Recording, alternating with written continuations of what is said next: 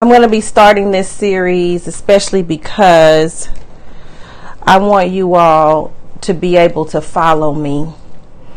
Um, so you can pre read the text um, and kind of know where we're going. And that way, I think it'll be even more engaging for you. So we'll be in 1 Samuel 16 and we're going to move through the text. Things I want you to pay attention to in the text is is David's humility. We want to you know, just pay attention how the Bible describes him. Samuel 16, let's get started with a word of prayer. Father, we come in the name of Jesus. Thank you Holy Spirit, for being with us. You said where two or more are gathered together in your name, you will be in the midst. Lord, we thank you for this time of study. Holy Spirit, you are the teacher. Teach each one of us. Give us a ear to hear and a heart to receive what the Spirit says unto the church. You are speaking even now, Holy Spirit. Speak to your people afresh what they need to hear to bring them encouragement and boldness and new strength, oh God. I decree and declare new strength in the name of Jesus. Encourage in the name of Jesus.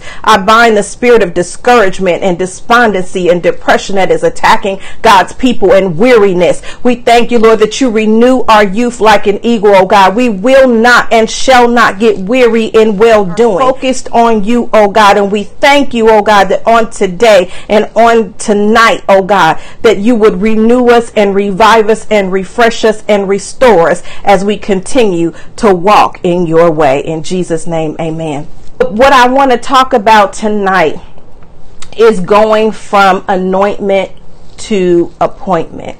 So, in the first verse, or the first couple of verses of chapter 16 of First Samuel, if we remember, it starts with the prophet Samuel. Right. He loved, clearly loved Saul because it starts with, You have mourned for Saul long enough. So oftentimes, if you have a seeing gift, a prophetic gift, or you walk in the office of a prophet, or God allows you to see, you will see a person on the decline spiritually and oftentimes people think, why doesn't somebody intervene? Why doesn't somebody do something? Clearly, Samuel saw this because the Bible tells us that he mourned for Saul. Saul wasn't dead. So he was mourning for him, right? But he was not dead physically. But what the prophet Samuel saw was him dying spiritually. He saw the man of God, the king, dying spiritually, and he mourned for him. But he did not have the authority to overturn it, not even to intervene in it. All he could do was obey God. So what he did was obey God, right? So he mourned for him because in his self and his flesh he loved Saul. So he mourned for him, but yet he still had to do his God given job. So, you know, as we're looking for promotion and asking God for promotion, they're going to have, they're going to be some very hard things that we have to do. So just like Samuel, he didn't necessarily want to anoint another king because he knew that was going to be the official end of Saul but he had to do it because he's not in charge. So a prophet only speaks and says what thus says the Lord. It doesn't mean that you or, I will always be happy doing it. It doesn't mean we'll always rejoice doing it. It does not mean that we'll always get to deliver good news. It doesn't mean that we'll always get to, to say things that people like or want to hear or clap or be glad. You know, we know that a lot of times that the prophets will give a prophecy and have to run to keep people from killing them. You know, so don't think that, oh, I'm going to be anointed a prophet. You, you may very well be, but that doesn't mean that there won't come some difficulties and some very hard things that you'll have to speak. So this is, you know, as we talk about from anointment to appointment, we want to look at sort of the entirety of the text and sort of glean for each part of us. You know, each one of us are in a different place in our lives and have a different gift. But I want to highlight things because there's so many people watching that you might get, you know, or be able to glean from it what God has for you. Somebody asked for prayer. We're we're we're gonna um, study the text right now and as the Holy Spirit leads, then um, if if the Holy Spirit leads that way, and um, then I'll pray for people after. But we're gonna we're gonna study right now.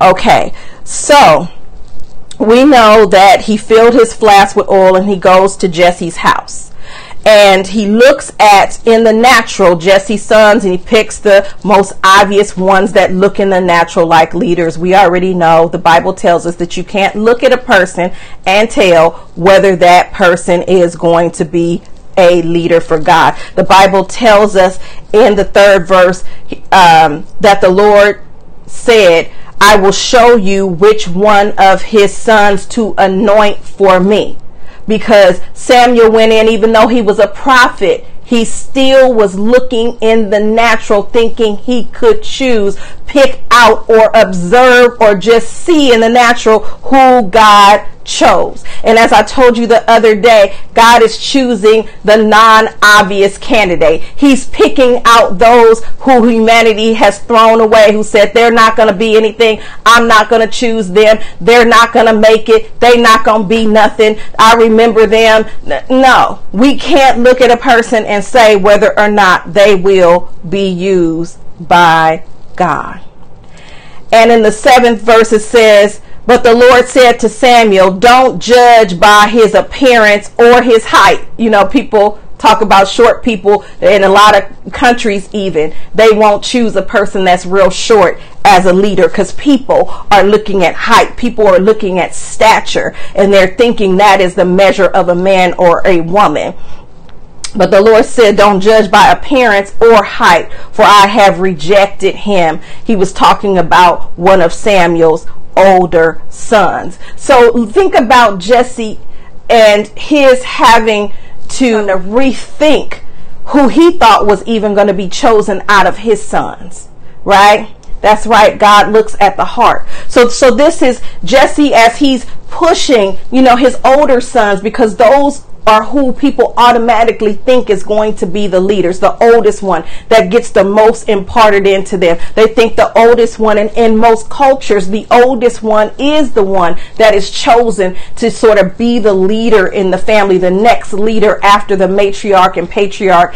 have gone on. They become the next natural leaders, but not so in the kingdom. We see over and over in the Bible where God skips generations and he skips over people, and people are chosen by their character, not by their birth order. See, you know, a lot of times we're looking at people and we're, we're looking at these sort of signs, you know, they were born first and they were born last and, and this and that. But, but God said, no, right? He judges as someone said, and it says it right in the Bible, he judges by the heart. So as we go to the 12th verse, we're in 1 Samuel 16, verse 12. So Jesse sent for him. So David wasn't even there when he asked, when the prophet Samuel asked for Jesse to assemble all of his sons, he excluded David because he was out with the sheep. He didn't even include him in the all. So he, he, he so counted him out that he didn't even include him in the bring all your sons to me. He didn't. David still, he didn't, he didn't even send for him. So Jesse sent for him in the 12th verse when all the other sons were not chosen. And he was dark. He was dark, the Bible tells us, and he was probably dark because he was outside. He was outside with the sheep and the goats without a covering. He's going to be dark. He's out in the sun without protection. He's done some hard work. But the Bible says he was handsome and he had beautiful eyes. And so when the Bible gives us these kinds of descriptions, it's not just talking about a physical description. There's always something spiritual to be gleaned when, when a description is given of a person in the Bible. It's not just wanting us to think that this is handsome in the way we think of handsome, you know, and not in the way we think of beautiful eyes. You know, the Bible tells us in verse 13 that David stood amongst his brothers and Samuel took the flask of olive oil he had brought and anointed David. And the Bible tells us the Spirit of the Lord came powerfully upon David from that day. So he was anointed there in verse 13. He was pointed out by God in verse 12 and anointed in verse 13. But this is 1 Samuel 16, but is king sitting on the throne king right? So that's a lot that happens in those verses. And so the reason i said from anointment to appointment because we're here he's anointed. So we think okay i'm anointed. I'm gonna get the position then. No. Not all the time. I remember when i was ordained. And when i was ordained you know very few people are ordained at that time and get a church. Very few people are anointed at that time and go right into that service, right? Yes. So, but what we see is, is that we're going to see the process. See, we think in our minds, God's anointed me. I, I should run off and, and, and run and go and, and let me start. And I don't want nobody holding me back. And people are trying to stop me and they're trying to keep me from getting to well, a lot of times what we don't realize is this is the choosing process. This is the setting apart process. This is the pulling out process where God separated him from his brothers. Yes? But now it's the proving process. So yes, I've called you out. I've anointed you. I've separated from your brothers. But, but, you still got to go through some things because you were a shepherd before, out with the sheep and the goats. And now I have to teach you how to be over a whole land full of people. Right? Because he's going to be king. I talked a little bit the last time I was on about how Saul was trying to kill David, but I want you to see how things change. In the very beginning, we can see how people notice David's character. So Saul so after the Spirit of the Lord comes upon David mightily, that's verse 13. In verse 14, watch what happens. Now, the Spirit in your Bible, it should have a capital S meaning Holy Spirit. Now, the Spirit of the Lord left Saul, meaning the Holy Spirit. And the Lord sent a tormenting spirit, small s, meaning not from, not the Holy Spirit, that filled him with depression and fear. But when you see the capital S Spirit is just giving you a clue in the English Bible that it's referring to the Holy Spirit. And when you see Spirit with a small s, it is either referring to an evil spirit or a person's spirit, right? Either one. You have to sort of discern that from the text. What is it talking about? David's anointed, and we see in the very next verse that the Spirit leaves Saul. There can't be two people anointed king. Can't be two people anointed king at the same time. Can't be two, two people spiritually in the exact same position. So David's put in position and Saul is ousted spiritually from the position. But yet in the natural, he's still in the position. Why? Because it's a process. There's a process working simultaneously where Saul is going down and David's coming up and they're passing each other like this.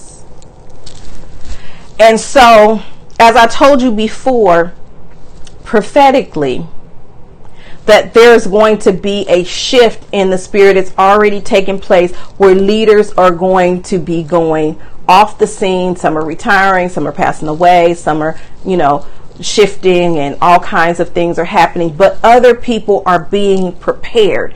Yes, they've already been anointed, but they're not in the position yet.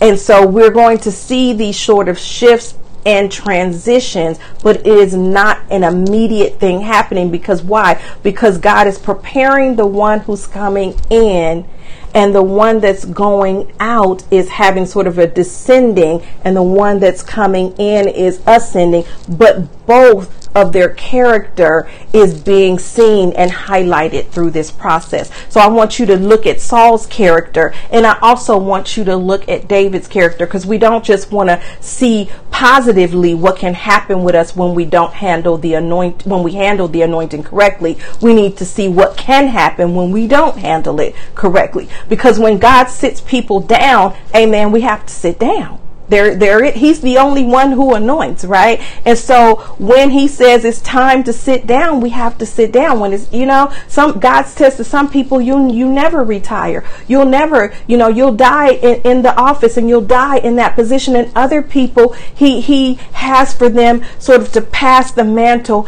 and sort of, you know, go in a different capacity, right? And so these are things that God does that we're not always privy to, but the people who are in those positions are, right? They know. Okay, so now in the 17th verse, Saul said, Find me someone who plays well and bring him here. So watch David's character that people have already seen who he is. One of Saul's servants says, One of Jesse's sons from Bethlehem is a talented harp player. Not only that, he is a brave warrior. He's given Saul David's resume. He says he's a talented harp player. Not only that, he's a brave warrior. Not only that, he's a man of war. Not only that, he is a man of good judgment. Not only that, he is a fine looking young man not only that, the Lord is with him. So one of Saul's servants gives him David's resume. So D- Saul has David's resume. He knows who he is. The Bible tells us in the 21st verse that Saul loved David. Saul loved David very much. Blessings, Yolanda. Saul loved David very much. And David became his armor bearer. So, when we talk about blessings to you all, when we talk about how the relationship changed, how it shifted, and how Saul began to look at David with a jealous eye, it did not start that way. It didn't start that way. But when Saul realized that David was going to replace him, that's when jealousy began to come upon him. Even when the Spirit of God left him, it said depression and fear came. But jealousy came from his own soul, from his own evil eye, from his own looking at David in an envious way. That's when jealousy came in. But at first, Saul loved David. He probably spoke well of him. We know that Saul's family also loved David. We know two of his daughters, right? He told him his oldest daughter could be married to her, and then he took that back and had they had his oldest daughter marry someone else, and then Michal end up marrying David, right? Because Saul had um, given the older daughter to someone else. And then we know from the last text that Jonathan became his best friend, David, that is, and loved David and actually helped David escape his father. That even though Saul had been rejected as king, he was still in the position. And even though David was anointed as king, he was not in the position yet. Talking about transition how hard sometimes transition can be. And that's why we're going to continue to look at, at this, this sort of saga uh, of David and Saul because I want us to understand transition. It, it, when I talk about us shifting and us being in position and God shifting us, I don't want us to think of in the natural about me just going from one place to another without understanding the challenges that may face us along the way. We, we must, saints of God, be prepared for the shift. With, with his great resume of how talented he was and a great harp player and, and how he's a man of war and he's talented and, and all those things. Yes, it started that way. Oh, even David served Saul as his armor bearer, one of his closest people. He moved him in, he brought him into the palace.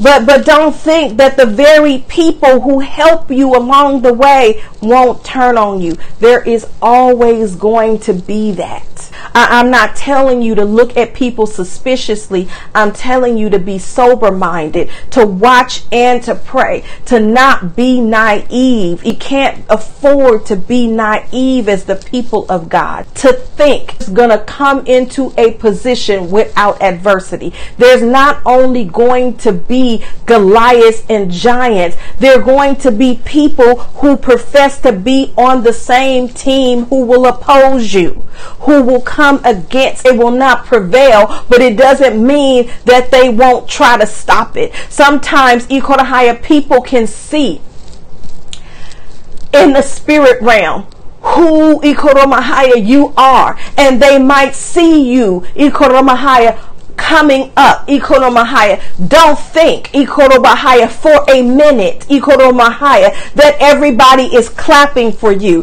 that everybody is glad for you. Don't think for a second that even David's brothers were so happy, amen, as they sat in the in his presence and watched him be anointed. Don't think for a second, Ikoromokoshanda, that they were not Ikoromokoshandere Mahaya looking at him with a little bit of eye, like how in the heck did that happen? How did I get passed over? How did this happen? Don't think for a minute that your anointing does not come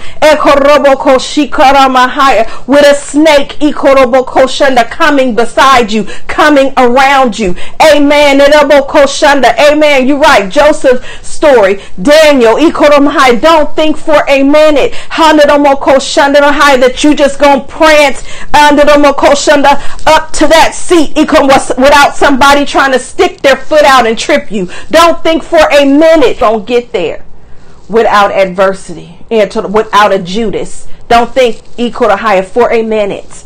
Under the mohaya, shendidio mokosi koroboko shandirabokosi korobahaya. Ananomoko shikoroboko shanda after David was anointed, the Bible tells us that he went to help his father. He went back in, in, in chapter 17 and verse 15. It's, verse 14, it said David was the youngest son. And verse 15 tells us David went back and forth so he could help the father with the sheep. But wait a minute. He was anointed in chapter 16 and in, in, in chapter 17 it says he went back to go help the father with his sheep. So he went back to his job. He went back to the job he had before he was anointed to be king. He went back to his job. He went back to the post office, amen, and was throwing packages. He went back. He went back and put the name tag on as he went back. He went back to help his father at their grocery store he went back after he was anointed and waited until God opened the door. My God. Sometimes we're wondering, well, how come, I, I, you know, people spoke this over me and, and, and, you know, this was prophesied over me. Why hasn't it happened? Why ha- because immediately from you being anointed is not the time where we go straight from anointing into appointment there is still that process. Oh God, uh, it is not always instantaneous. It is not always, that's good. Mahaya oftentimes God Ikoroboko keeps us and he keeps us humble and, and he keeps making us stronger and he keeps Ikoroboko Shikaramahaya teaching us how to fight and he keeps Ikoroboko Shana checking our character and allowing us Ikorobahaya to grow in the spirit. David had been out there with the sheep and the goats and he went back to help his father. Hallelujah. Hey, you can't skip it. That's right. We got to go through it. And, and, and, even though he was young, the Bible tells us, he wasn't afraid. Because when that spirit came on Saul, what did it do? It made him fearful. He became afraid. And when you're a warrior, you can't be afraid of the enemy. And so he could not defeat Goliath, and therefore Israel could not defeat Goliath because the king, the leadership, the head was scared. Afraid there was no way to defeat Goliath because Saul was scared. Not only was Saul scared, the Bible tells us that Jesse's oldest three sons were already in the Israelite army, and they were too because it tells us that the Israelite army and all of Israel was afraid. That includes, right, Jesse's three sons that were in that army. So they couldn't defeat Goliath. But what David did, amen, it flows down, you right, from the head. But what David did, Obahiah when he went back out with the sheep, he kept encountering those shunda adversaries and those predators that would come and try to steal the sheep. He continued to encounter them and he must have continued to defeat them. He continued to gain experience and strength, not knowing that that same strength was going to be used to defeat Goliath, but he was not afraid. The Bible tells us we're going to go skip down and then we're going to end here for tonight in the 17th verse. That we know that Goliath continued to taunt Israel he had on this complete armor. The Bible tells us in the 17th chapter that he was nine feet tall. That tells us that he was a champion. It gives us Goliath's resume. He was nine feet tall. He was a champion. Had a bronze helmet, a bronze coat, a bronze javelin, an armor bearer that walked in front of him. And he stood and taunted Israel. The Bible tells us in 17 and 11 11 when Saul and the Israelites heard this, they were terrified and deeply shaken. Terrified and deeply shaken. That's why they could not defeat Goliath. Because fear had come in to Saul and they couldn't defeat him. Verse 13 says Jesse's three oldest sons had already joined Saul's army to fight the Philistines. David was the youngest that keeps setting up an unlikely victory. The Bible tells us in the 24th verse that as soon as the Israelite army saw Goliath, they began to run away in fright, afraid. David's brothers, he came out to see this Philistine. He said, Who is this pagan Philistine in verse 26 that, that has been allowed to defy the armies of the living God? Who is this pagan Philistine that y'all letting scare you to death? And his brother said, What are you doing out here? You only came out here to see what's going on. You don't have no business out here. He tells them, tells David, why don't you go out back with them few sheep you have? You only you only taking care of a few sheep. You're not really doing anything. Go back out there with them. You're supposed to be taking care of the sheep. You prideful. You're you're deceitful. You only want to see what's going on here. Wait a minute. Why are they talking to him like this? Right? He, they watched him be anointed in front of them in verse 16, in chapter 16. So we can see a little bit here of how the brothers talked to David even after they watched him be anointed. So don't think you still might not be disrespected by your family members. Don't matter, right? Don't don't think because you're anointed that they not gonna say who you think you are. you bringing a word to me? Who do you who you need to go sit down what are you doing over here? You still need to be at the kids' table. Don't think Ikora Mahaya for a second that everybody, Ikorobahaya, who knew you before, just because you get anointed, Ikorobahaya, it is going to respect you as that. Don't, don't even think it. But David says, Don't worry about this Philistine. David told Saul, I'll go fight him. He was confident. But Saul says, Don't be ridiculous. You can't fight him. You're only a boy. He's a man of war. But David was not afraid. This is this, this is it for tonight as far as the text goes. I, I just feel like I just need to speak this over you all.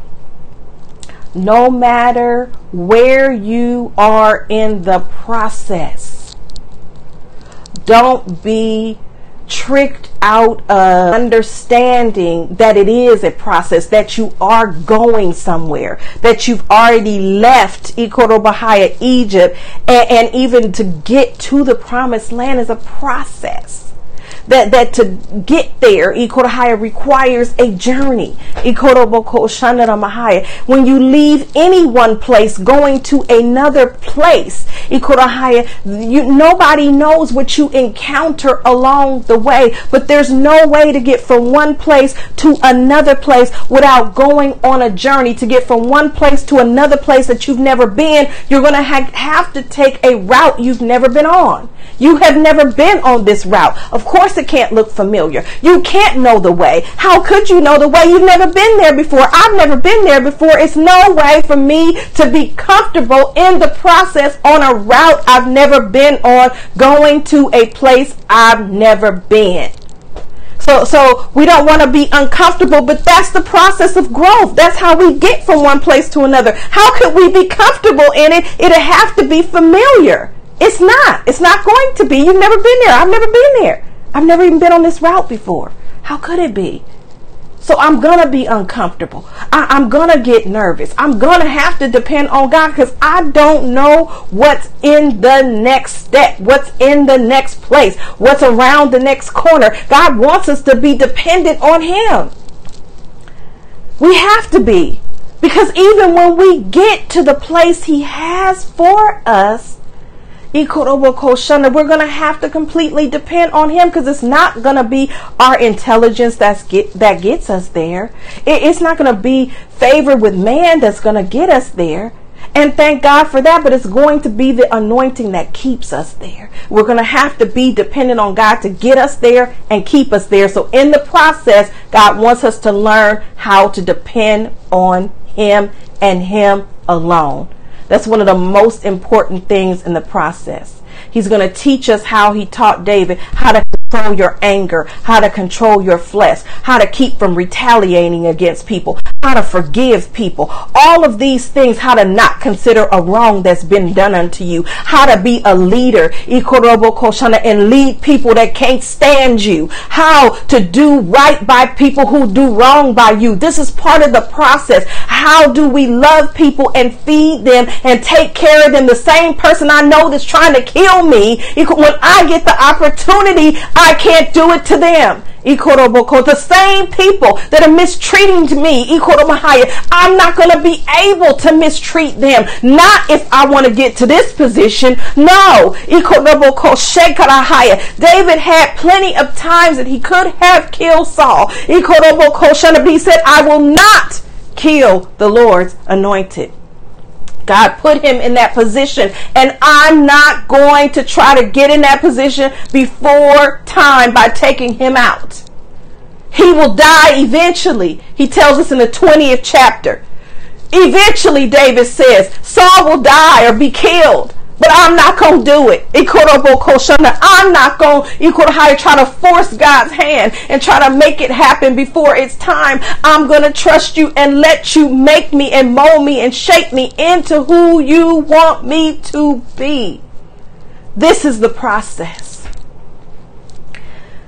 Just coming from being a shepherd, going to king without learning how to lead people will never make a great leader. It shall never make a great supervisor. Will never make a great Ikor Mahaya anything. It shall not Eshonahaya. He's building up his discernment. teaching him how to listen to the voice of God, how to obey the voice of God. And even when he cuts off a piece of Saul's skirt, and we'll get there. Even when he does that, he feels guilty. Says, I shouldn't have even done that. I shouldn't have even touched him at all. It shunned on my high, but he still hadn't had complete control of his flesh and his emotions. So as we go through the process, these things are being broken off of us. God is showing us who we are in our character, and He's refining us and making us and shaping us into who He has for us to be. That's right. That's what we're doing during the waiting season. That's right. MC, that's right. MZ, that's what we're doing. We're not waiting idly. We're being refined. Iron is sharpening iron. We're being put in the refiner's fire. That's what's happened. The impurities are being burned out of us, and it is not a process that feels good. It is not a process that we're going to love. That's right. That's exactly right, Pam. That's right, Sister Pam our Minister Pam, I'm sorry, the Holy Spirit corrected me, Minister Pam. we are having our character built. Oh, that's good. By will, when nobody's watching, God sees our heart. That's right. We're not going to dodge the process. We're not going to try to get out of it. In the midst of it, we say, Lord, what are you trying to teach me? Ikorobo, what are you trying to show me? Ikoromahaya. Shenelamakahaya. There's enemies all along the path. But we don't get to mistreat them. We don't get to. God keeps us safe. He said, I'll keep you safe from your enemies. He'll tell us how to deal with them, but we don't get to deal with them the same way they deal with us. We, we don't get to.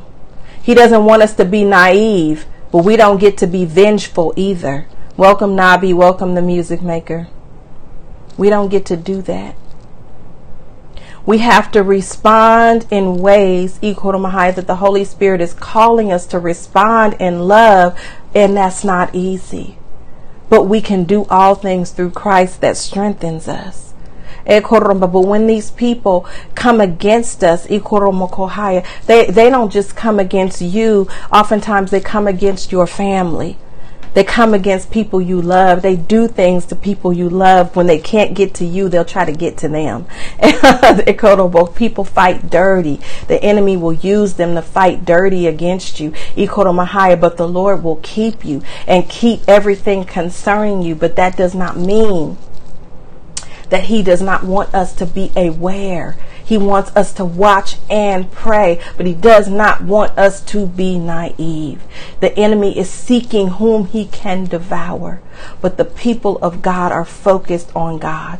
As Shononamahaya. I decree and declare that we will not miss any movement of the Holy Spirit. We will not miss any directions that the Holy Spirit has for us. Thank you, Holy Spirit, for leading and guiding your people into all truth as we continue to move to and through this process, oh God. We thank you for illuminating every step, guiding our feet, Holy Spirit. We thank you that we submit completely to your will. We will not resist the process. We will not resist. Even when we have to go through adversity and things that are not pleasant and easy, oh God, we know that all things work together for your good. Sometimes we have to go back, Ikorahaya, to a place that we don't want to go back to. David, I'm sure he was not jumping for joy to go back to, to being a shepherd. And, and but the Bible says he went back to help his father. So it needed to be done and he was willing to do it. He was humble enough to know I've been anointed for for such a time as this, but the time in the spirit is not equal to the time in the natural. There's an appointed time in the spirit. It could it does not go by the calendar. The timing of God does not go by, by our calendar. For such a time as this. I thank you, Lord, in due season. Due season is a time that's not on the clock. It's a time that's not on the calendar. In due season, you shall reap a harvest. Equal to higher because you will not faint. I will not faint. We will not faint. Koshanda in due season, we thank God for due season. It shall not hire until there is due season where it's harvest, we will continue to plant. We will continue to water. That's right, Minister Sherry, and we will not be weary in well doing. We will continue through the process. And even when the pests come and the locusts come and the thieves come and the sun is beating down us, we will continue to plant plant and to water until it's harvest time. And when it's harvest season, will be ready because our stamina will be ready because we keep working. Our stamina will be ready because we didn't sit down and be like, I'm tired of this. I'm just going to wait on my harvest. No, a harvest, it has to be tended over. It has to be watched. It has to be watered. It has to be fertilized. It has to make sure that pests haven't eaten it all and take care of it. It has to be tended to. We just don't plant and leave it alone and leave it by itself and come back and think we're going to have a harvest. I remember I had tomatoes on, on, on, outside and I love to plant things and I always do this. I tell you all this. Welcome, Prophet Kelly. but then you all know I go out of town for long periods of time. And I went out of town and I had all these cucumbers and they were just so beautiful, but they were little, like this big. And I was thinking, oh, when I get home, I'm going to have all these cucumbers. But then, um, while I was gone, my car was hit while it was parked. Somebody hit my car. And so I put it in the shop, but I was 500 miles from where I actually live. So I put it in the shop and it, they said it'll be ready in two weeks. So I thought, okay, I could stay another two weeks. I could just stay with my mom, stay another two weeks. That two weeks turned into three weeks, turned into four weeks, turned into five weeks, turned six weeks. I'm like, I gotta go home, right? And they just did, it was just a long, long, long, long process. And I said all that to say, I had been tending to those cucumbers, like watering them.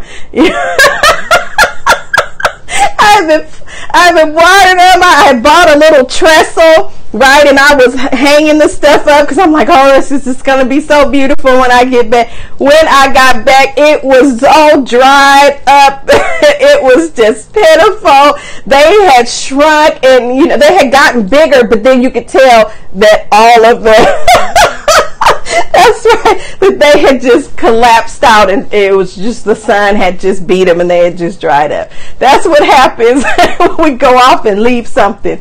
Even if it's planted and it's growing, when we don't tend to it, intentionally or unintentionally. I got distracted. I got sidetracked. So it doesn't have to be intentional neglect, right? It is. It, it, could be something that distracts you or something that impedes you from going. But we. This is where discernment comes in, and we say, "Oh no, I need to get back to where God assigned me to be. The enemy threw this monkey wrench in my program, but I got to get back. That's right. I missed the season. They had grown, and then when I got back, I could see that they had just collapsed out and died, dried up. They had, they had gotten much bigger, but in that time, there wasn't anybody here to water them and tend to them and they were dead by the time I got back. So I didn't have one cucumber. And so I always love to plant things and then I'm always traveling.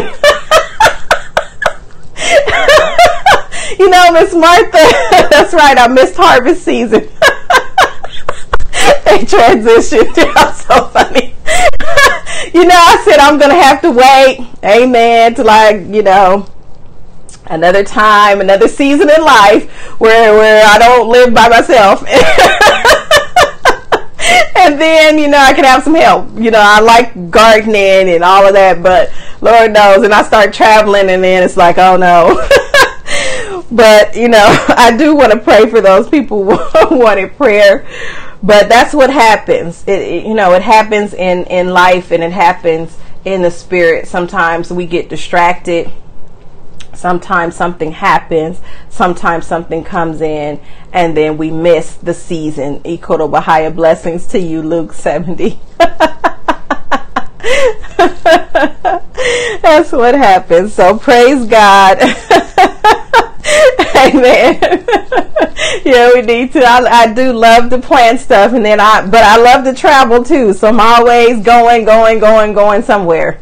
And um, you know, I have to get. I don't know, have an irrigation system or something to be able to keep them alive until I get back. So but if anybody wants prayer, let me know before we go. But we're going to continue. I know I started getting into. Oh, Nabi, God is so good. I just believe God healed her. I believe that with all of my heart. I believe it with all of my heart. I absolutely believe it. I give all praise to the Most High God. I am just so overjoyed. I am so happy. Uh, many of you were on here when, when Nabi asked, not just me, but you know, we all prayed for her. We all prayed for her mom, and I just give God glory because you know that's that's the promise of God. Ikorobo, just one of the many promises of God. Ikorobo Koshan, I'm so happy. I'm so happy. I'm just so happy. I just uh, it just made my day. yes, Marlo. I will. I'm. I just. He is a healer. I just. I, I. I'm just overjoyed. I'm so happy. I'm so happy. I just. It just made my day. Before I pray for you, Marlo and um, Luke. I just have to give another testimony. My good friend Joyce, I got to have lunch with her the other day, and it was just such a blessing. God healed her as well of stage four cancer, and it, it's just every time I see her, I'm just overjoyed. I'm just overjoyed. It just it just brings me just great joy. You know, we overcome by the blood of the Lamb and by the word of our testimony, and I'm so glad that you came back and testified. If you want to say anything I'll bring you on, you know, if you want to say anything audibly, I'll bring you bring you on with the, you know, you can bring people on now. Um, if you want to say anything, Nabi, I, I will um, include you on the scope if you want to say anything else. But I'm so glad you came back because it encourages people um, that are going through to be reminded that God is the same yesterday, today, and forevermore, is a healer was a healer, always shall be a healer, the creator of all. You know, I, am just so glad. So, amen. We all rejoice in the Lord. I'm just, it just made my day. Okay. We're going to pray for Marlo right now and then remind me, um, remind me, I don't want to forget to pray for your son, but remind me, I'm going to pray for Marlo now and then Luke and then pray for your son. Asherebokosan, Sister um, Marlo, Ekoroboko Shikaramaaya. You know, there's just been an attack against you. Um, you know, sometimes there's just things that we go through, and then there's other things that just are um, I don't say this often. There there are things that are truly demonic. And I'm not talking about you being demonic. I'm talking about this attack um, because it's one of those kind of attacks that's like a simultaneous domino. It's, it's almost like before you get get one thing handled, something else happens.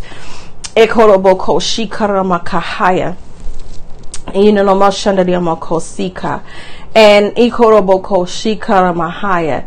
And, and part of it, you know, I just hear the Lord saying, that He has your full attention. You know, sometimes God allows things to happen, but He, I hear Him saying He has your full attention. You.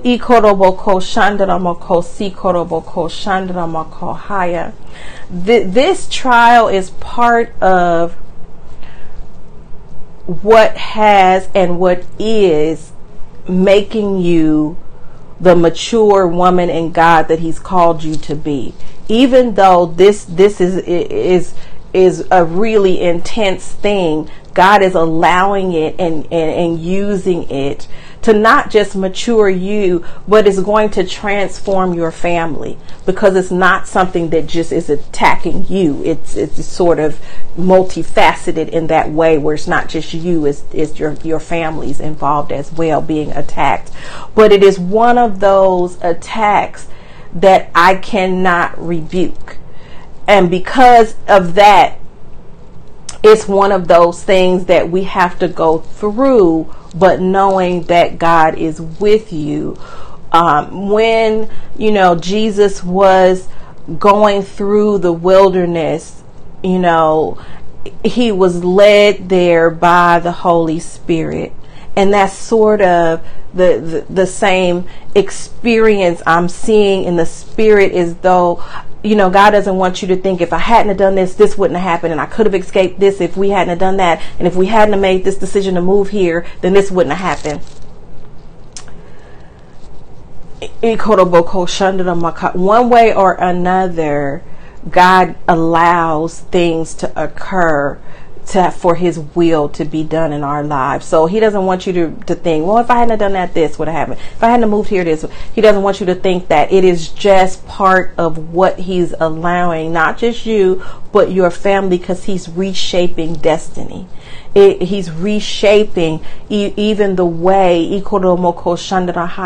things are understood about God in your family because it hasn't always been like this understanding of salvation and the way things are working in the kingdom of God, the way you see them now. That is not the lineage I see from your family. And God is, is shaking up things and He's changing things. And it's a drastic change eh, from what historically has been believed but because he chose you, it had to be a radical shift to get you from one thing, one kingdom, out of that kingdom of darkness. We all came out of it, so I'm not making point of you. I'm saying out of that kingdom of darkness into the kingdom of light. And it's a radical pulling away. So just know that God is with you. He's teaching you how to call on Him, and you're going to see Him respond in ways and it's just going to amaze you. When you call on God he's going to let you see him in ways you've never seen and you are going to know without a shadow of a doubt that you serve a true and living God. And you're going to be a great testimony. Mahaya, wherever you're from, you're going to be able to give testimony Mahaya, of a truth that this is real. Because a, a lot of people you know is like, oh, that stuff's not real. No, you're going to be able to be a true witness to some people, Ikoromahai, that this is real. So God bless you. I pray that you are encouraged. Ikoromokoshana, you continue. Ikoromokoshana, steadfastly in faith. Because God is truly with you and has ordained your steps. God bless you. You're welcome. You're welcome. Um, um, Luke, I think it was. Ikoromokoshana, makasi,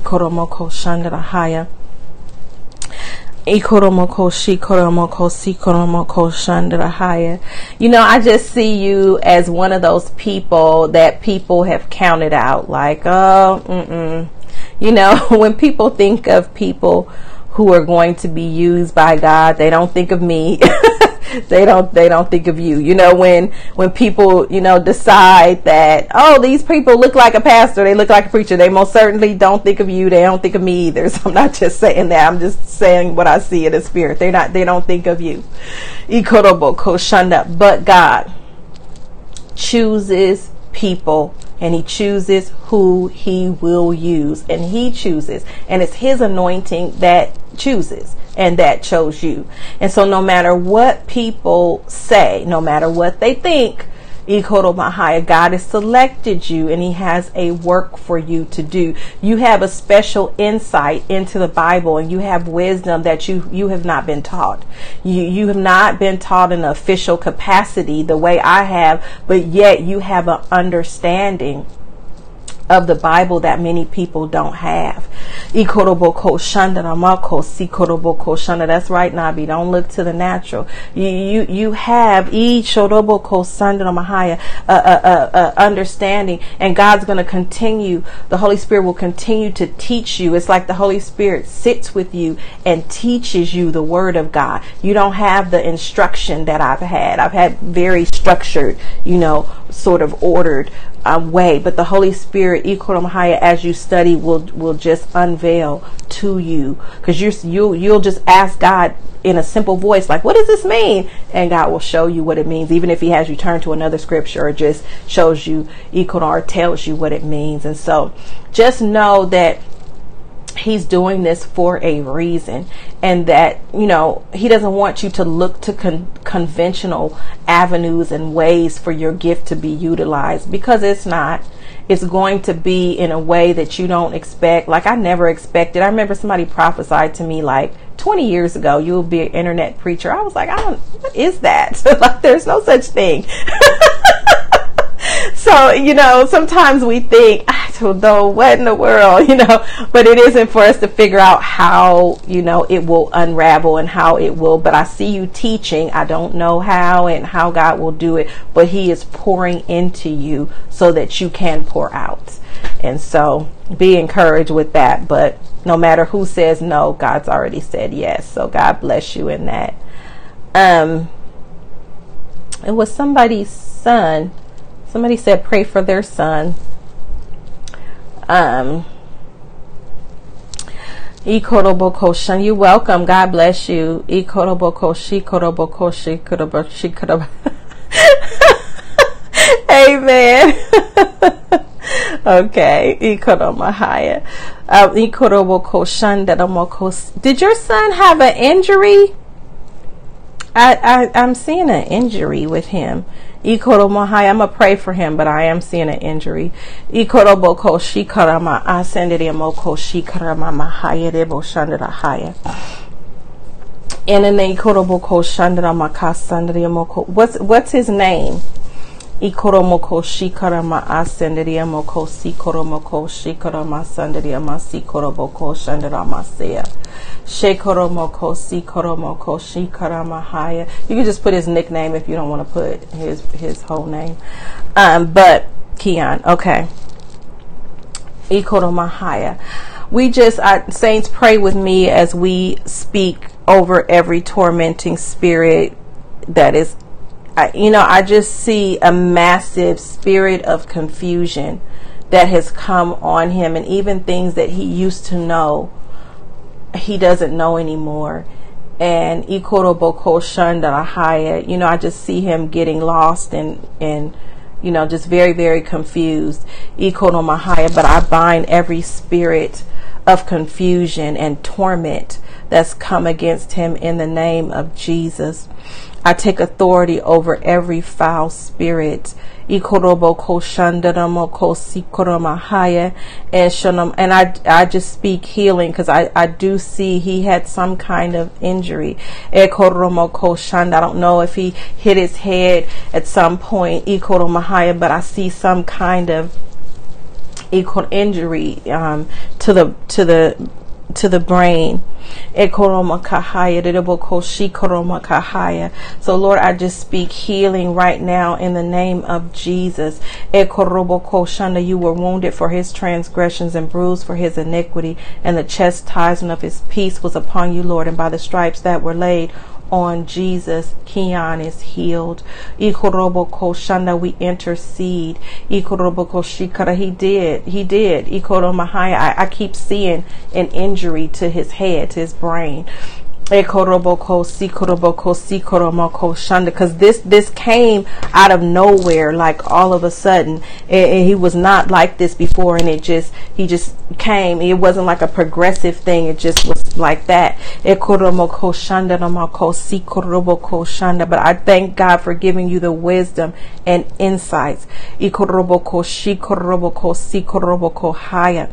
Sanda for how to deal with him, whether Ikoroboko Shanda giving you the supernatural strength and ability Oh my God. Ikoroboko shanda.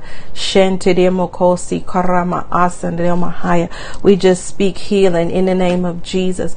O shandaramoko se koroboko shi karama asandemoko si karama asitarasha.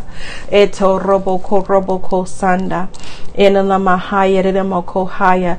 You know, if you have the ability to take him to um, you know, medically economahaya be evaluated, but make sure you mention that because this this did not come out of nowhere, and his behavior is so odd now. His behavior, shanda, but it is economahaya is an attack, economahaya. But eco, we speak over him in the name of Jesus. The enemy will not economahaya interrupt his future, will not cancel his future. We cover him with the blood of Jesus. koroboko shanda.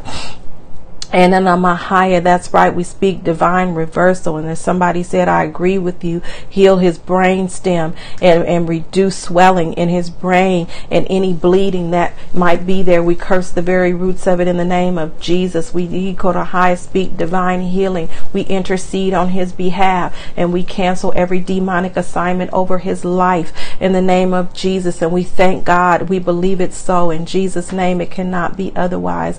And Lord, we thank you for more and more testimonies and reports of your healing virtue, your healing power, O God. Thank you, Lord. Hallelujah. And we rejoice and, and give you praise, O God. Thank you, Lord. We thank you, Lord. We thank you, Lord. And, and and the enemy don't allow the enemy to make you fear like, oh my God, I'm gonna have to spend the rest of my life taking care of him. Don't don't allow the enemy to you know make you start going in that direction. Ekoromo koshana, we just touch and agree with you. Ekoromo koshana in the name of Jesus that ekoromo koshandarama kosikarama ashandariamo kohaya for divine reversal. We decree and declare it in Jesus' name. Amen. Amen. I think that's all of the people that asked for prayer. I'm so glad you all have joined me. Ikorobo koshikoromahaya. That's right. Don't give him no inch. That's right. Divine turnaround in the name of Jesus. Amen. Pleading the blood of Jesus over the whole family. We agree with you. High, stay connected to the people of God. Stay connected to us. We all want to pray. We are a family here together. High, believe in God together. High, welcome Lady Crystal. Believe in God together. One can put a thousand to a flight. Two can put ten thousand to a flight. And we stand together in the spirit realm. As Shandariamokos, believe in God with you. Amen. Amen. So, people of God, we are on a that's right. I believe the report of the Lord. That's right, by will. We believe the report of the Lord. Um, so we started in First Samuel 16. that's right. They. That's right. Speak the word, Miss Martha. We began in First Samuel 16, so we're going to keep going. So read First Samuel 16 if you can. Read 17 because we're going to stay continuing to talk about um, going from anointment to appointment and the, looking at the process of David, but also looking at the other people in David's life, whether that's Jonathan, who um, you know, who helps him and becomes his best friend, or whether it's Saul, King Saul, who tries to kill him, or whether it's David's brothers, or whether it's David's wife, or, you know, a lot of the other players, the other people in the army. We just want to look at a lot of the things that happens in this story because we want to understand better the process of, of how when God's anointing us and when he has anointed us, before we get to the place of promise what it is that can happen in the process. And even once we get there, that some of the adversity that we may face. And so we we just thank God for understanding better, giving us a better understanding so that in this time of preparation, we we don't bemoan the process, but that we rejoice because we know that it is all working together for good for them that love the Lord and who are called according to his purpose. So thank you all for joining me it's such a blessing to always have you with me. I look forward to seeing you all. We are on a good schedule here every Tuesday at 4 p.m., Thursday at 6 p.m. Sometime I'm a little late. I'm working on it. but that's the schedule. Amen. So for those who may watch by replay, if you need to contact me, you can find me at revruby.com and I think that's it. So if God told you to sow a, a, seed into the ministry, you can find the information on the bio or on the website. Good night, everybody. May God bless you and keep you. I will see you on Tuesday. May God bless you and keep you. Amen. Thank you for encouraging me um, the music maker, and all of you. It's such a blessing to be with you. May God continue to bless you all and keep you. May you continue to walk in the ways and the wisdom of God. May the anointing of God carry you everywhere that He has for you to go. Blessings to you, Pastor Willow. Blessings to you, by Will. Thank you so much for encouraging me. I will see you Tuesday at 4 p.m. Pacific Standard Time. Good night.